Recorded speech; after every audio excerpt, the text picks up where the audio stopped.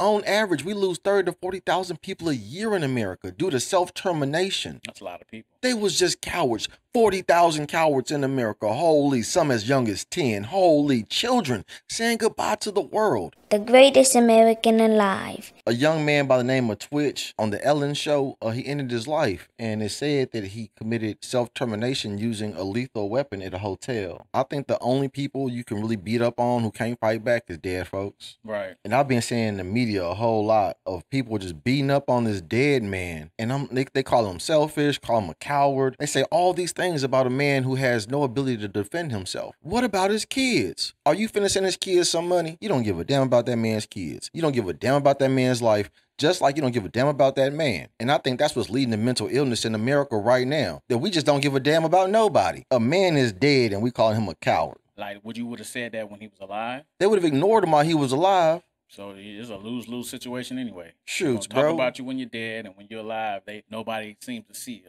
You know what I mean? You got to give people their flowers while they're here. Troy, I Yeah. appreciate you being here, I my appreciate brother. you. We're alive. I mean, it, it, it don't it don't make no sense to do it while one of us deceased. You know It, it, it's a celebration to have that. through good conversation you can build. right. We don't. We need to show up for each other. And somewhere in that man's life, in this man Twitch, in his life, someone didn't show up. And I can put the blame on him and say, "Man, you should never ever get to the point of self termination." I didn't live that man's life, and money don't make you comfortable. Life is hard. It's hard as hell. Whether you got a thousand dollars, no dollars, or a billion dollars, life is hard. But I guess again, sitting from this perspective, you just don't know. Just don't know. They say more money, more problem. That's that's with everything in life, right? Right now, you're a wonderful businessman. and Your business is growing. Yes. Yes. Okay. Next thing you're gonna you're gonna have employees, Hopefully. and your employees got families. Definitely got to feed the family. You used to be responsible for you and your family. Now you're responsible for ten. Yeah. Yeah. At, at a certain point, you just realize it's not about you no more. All of a sudden, it becomes uh, a machine. Right. My actions directly impact hundreds of people.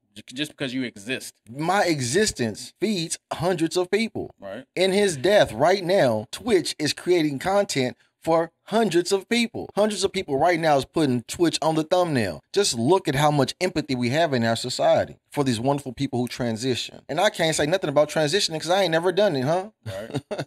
Some people say that man is going to hell. How dare you? How dare you? We again, we don't know his life. I don't know nothing personal about him, but rest in peace. Man, God bless the dead. Yeah, all of it. All of it, man. I'm going to use the Bible as a weapon against you and say this Bible says you're going to hell. Fire and damnation is coming to you because I said that I read the Bible and you're a horrible person because you self-terminated, brother. The hell is here on earth. Is a living condition. You know what I mean? Like heaven and hell is a living condition. When somebody's spirit leave their body, as the scriptures say, according to the Bible, it goes back up to the Father. Based on the thoughts that we have, we can be living in torment right now. Are we thinking good thoughts? Am I thinking good thoughts about myself? Because the way I think about myself, that's going to reflect upon the world. I agree. I wouldn't want to be around people that that aura is just bad. Who wants bad negative energy around them? Not me. It do start within yourself. You gotta find it in yourself to get crunk to get hype, so you can be hype for the next person. Because remember, it's not about you, It's about showing up. right?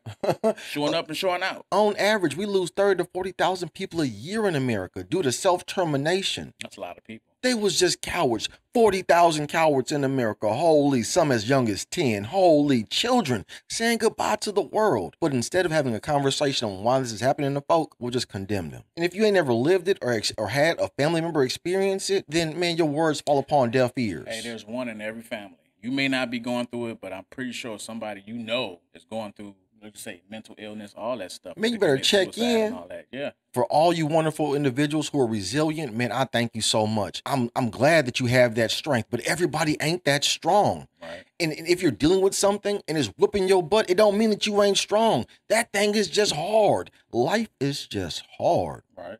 We know who to tell and not tell things, certain things to. But man, we all unclean, Filthy. filthy. You know what I'm saying? You'll look at me and tell me all the things that I do wrong. You won't never look in the mirror and look at the things that you got going on, huh? Man in the mirror. the man in the mirror. It's great to have a support system. So like when it's hard, I'm gonna call somebody on the phone because that's a great mechanism. Yes, when you're going through a real hard time, you got to fight back. A stagnant mind will lead to a stagnant body, and a stagnant body will also lead to a stagnant mind. So you got to keep moving. Read a book and walk a mile. That's my challenge. Yeah. That shit messes with your health internally too. Hey, that's my that's my challenge to everybody. Eh, Like we're approaching a brand new year, and for 2023 is so exciting, right? I challenge you to read a book and walk a mile. Well, I walk a mile. Just gotta get that reading in. The greatest American alive. The greatest American alive. The greatest American alive. The greatest American alive. The greatest American alive.